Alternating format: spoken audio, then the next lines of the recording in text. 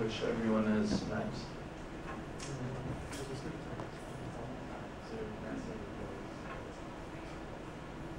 All right, so um, I'm going to do my lightning talk on the path to the open source city. I asked Patrick for some intro music, but we quite couldn't pull it off, so we'll, we'll have to go without the music for today.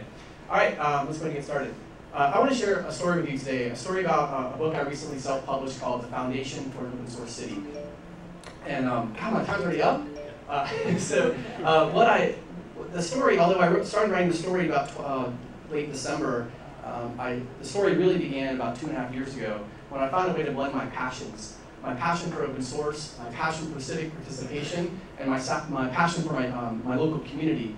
And that came in the form of the open government movement. And what I discovered is that I've been involved with open source for over a decade, but I'm not a coder, I'm a community builder.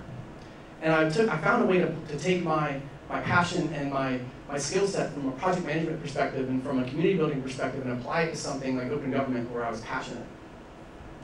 So um, when most people think of government, we've kind of talked about it today, they think of things like taxes or voting or, um, or the vending machine and the services that are offered. But for me, citizen participation uh, or open government is really about the two-way conversation and the dialogue that happens between citizens and the government. So there are three core principles that really drive the open government movement, and those are transparency, collaboration, and participation. Now those are really familiar to me because I use those every day when I, uh, in my open source world. So let's talk about open source.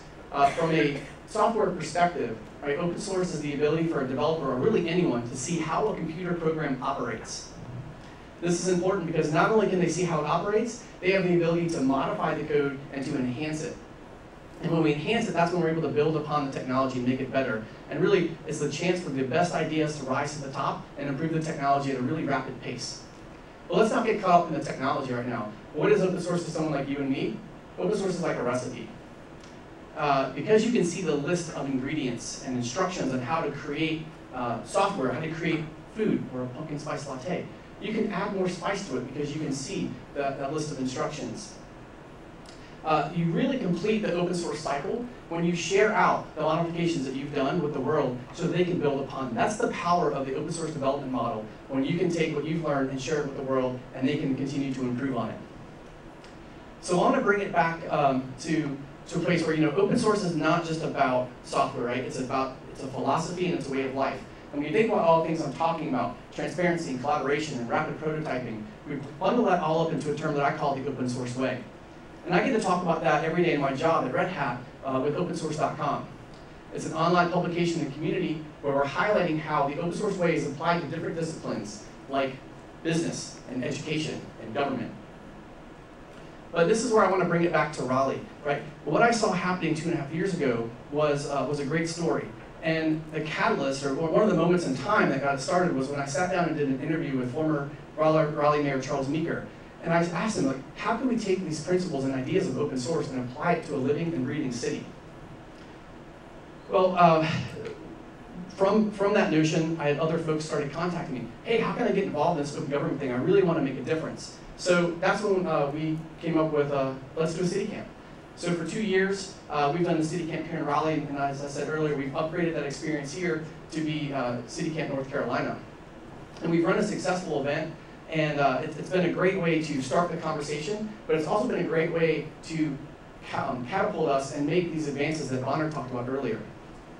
So, um, let's see where I'm at. So Open Government Conference. So we've done this here, uh, we've upgraded it, and this is where I want to kind of bring it back to, to the story of Raleigh and bring it back to my book, right? We've seen uh, innovation not only come from the government side, right? We've seen it, uh, City of Raleigh's deploying applications like SeeClickFix and subscriptions, but citizens are doing things like Triangle Wiki and creating mobile applications like R Greenway, and it's a partnership between citizens and their government.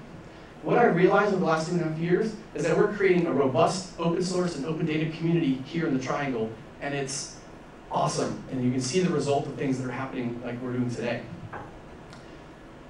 All right, so uh, bringing it back to the book, what I saw happening, and I started to identify these different principles, um, things like culture and open government policy and open data policy, and the impact uh, it has on economic development.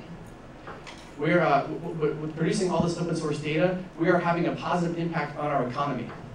So I want to leave you with two thoughts today. First, Open source is a better way. It's not only is it a better way to run a project, to run a conference, it's a better way to run your organization. And I want to challenge you today. I want to challenge you to go to a session and share an idea and take ownership in something. And I want to challenge you that after the conference to find a community and find a project and get involved and change the world the open source way. No elk.